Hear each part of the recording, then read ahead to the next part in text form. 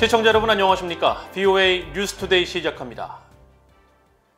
미국 연방검찰이 대북 제재를 위반한 싱가포르 국적자를 기소하고 제재 위반에 이용된 대형 유조선에 대한 몰수 소송을 제기했습니다. 미국 뉴욕 남부 연방검찰은 23일 싱가포르 국적자 곽이생 씨를 대북 제재 위반 등의 혐의로 기소했다고 밝혔습니다.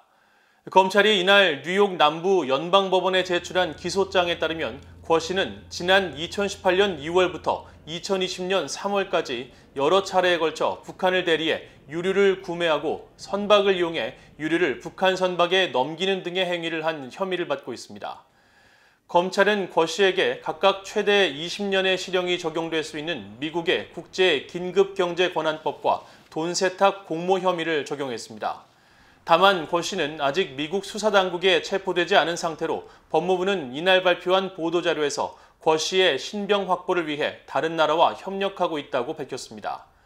미국 검찰은 또 권 씨에 대한 형사 기소와는 별도로 권 씨가 대북 유류 공급에 이용한 유조선 커리저스호를 압류해 민사 몰수 소송을 제기했다고 밝혔습니다. 존 디머스 미국 법무부 국가안보 담당 차관보는 커리저스호의 압류는 공해상에서 제재를 회피하려는 북한 정권의 노력을 가라앉히는 또 다른 조치라며 미국은 민사 몰수와 형사 기소를 통해 계속해서 북한 정권의 제재 회피 행위를 단속할 것이라고 밝혔습니다. 북한이 약 6개월 만에 중국과의 무역을 소폭 재개하면서 국경 봉쇄 조치가 완화될지 여부에 관심이 쏠리고 있습니다.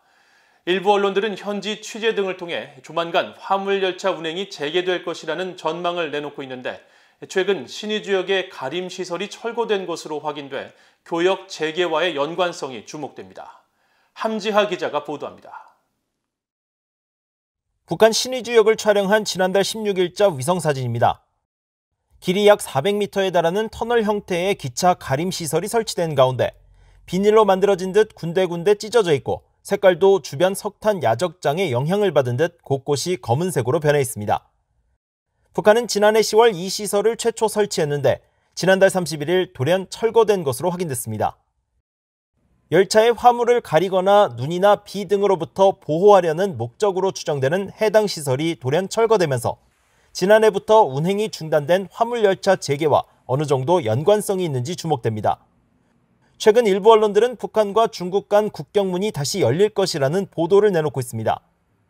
중국 관영 영자신문인 글로벌타임스는 북한과 중국의 무역을 담당하는 운송회사 책임자를 인용해 다음 달 1일 단둥과 신의주 사이 화물열차 운행을 재개할 것이라고 전했으며 일본의 NHK 방송도 지난 15일 북중 접경 지역인 중국 단둥에서 북한으로 향할 것으로 보이는 화물열차를 포착했다고 보도하기도 했습니다. 여기에 홍콩신문 사우스차이나 모닝포스트도 지난 14일 보도에서 북중 국경이 다시 열 것으로 보인다며 단둥 당국이 국경의 무역시설을 개선할 것으로 보인다고 전했습니다. 이처럼 북한이 중국과의 국경문을 다시 연다는 관측이 나오고 있지만 여전히 일부 전문가는 신중한 입장을 보이고 있습니다. There have been a lot of reports, actually for six months now, that uh, North Korea is about to open up its border. Probably sooner or later, the North Koreans will open the border, but We have to be factual about it and wait and see. 브라운 교수는 또 지난달 북한의 대중 수입품 목록에 설탕과 밀가루가 없는 등 수개월째 주민들에게 필요한 소비재 품목이 유입되지 않고 있다며 북한 상인들이 설탕 등을 들여와야 하는 상황에 처해 있을 것이라고 지적했습니다. 하지만 신종 코로나 바이러스가 세계적으로 수그러들지 않는 상황에서 국경을 꽁꽁 걸어 잠그며 과도한 반응을 보였던 북한 당국이 실제로 국경을 열지는 여전히 불확실합니다. 북한 당국은 최근 일본 도쿄올림픽 불참을 발표하면서 신종 코로나 바이러스 여파를 이유로 들기도 했습니다. 전문가들은 북한 지도부가 신종 코로나 바이러스와 관련해 외부 세계와의 거래를 매우 신중히 하고 있다며 북한이 국경을 개방하기까지 앞으로 많은 시일이 걸릴 것으로 전망했습니다. 비오이 뉴스 함자입니다. 미국 정부가 대북 정책 검토 작업이 여전히 진행 중이며 새 정책에는 압박과 외교가 모두 포함될 것임을 시사했습니다. 잘리나 포터 국무부 수석 부대변인은 23일 전화로 진행된 브리핑에서 대북 정책 검토 상황을 묻는 VOA의 질문에 검토에 대한 구체적인 시간표는 정해지지 않았다면서 거듭 강조하지만 바이든 행정부는 대북 정책에 대해 철저한 부처 간 검토를 하고 있다고 말했습니다. 그러면서 새 대북 정책은 지속적인 압박 조치의 이행과 더불어 향후 외교에 대한 선택도 포함될 것이라고 덧붙였습니다. 포터 부대변인은 이어 검토가 계속 진행 중인 만큼 공개할 내용도 없다고 거듭 밝혔습니다. 오는 25일은 세계보건기구 WHO가 지정한 세계 말라리아의 날입니다.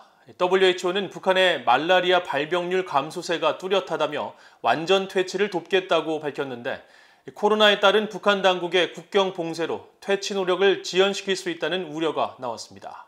안소영 기자가 보도합니다.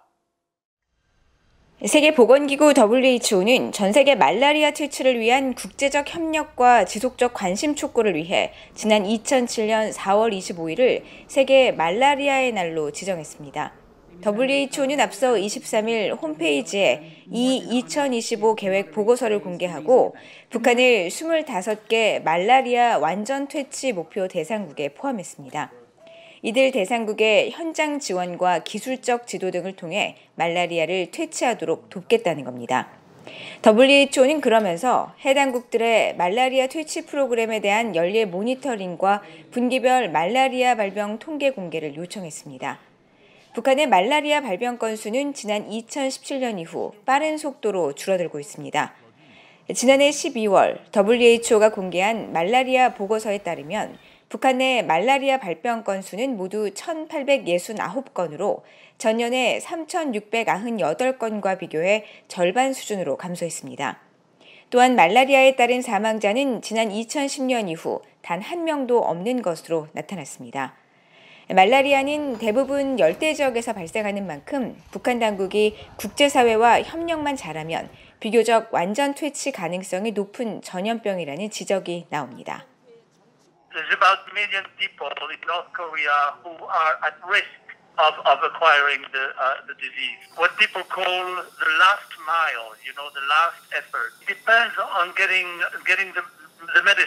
uh, uh, uh, China and other countries, and, and then they can probably eliminate malaria completely. You, the other thing is uh, there's been a lot of effort in sanitation that can uh, breed the mosquito. 한반도에서 발생하는 3일열 말라리아는 아프리카에서 유행하는 것보다 덜 치명적이지만 잠복 기간이 1년에 달한다는 특징이 있습니다. 이런 가운데 신종 코로나 바이러스 여파가 말라리아 퇴치에 걸림돌로 작용할 수 있다는 우려가 나오고 있습니다. WHO는 이번에 공개한 보고서에서 코로나로 인한 많은 나라의 국경 봉쇄와 이동 제한 조치가 말라리아 퇴치에 필요한 물품 전달을 지연시키고 있다고 지적했습니다.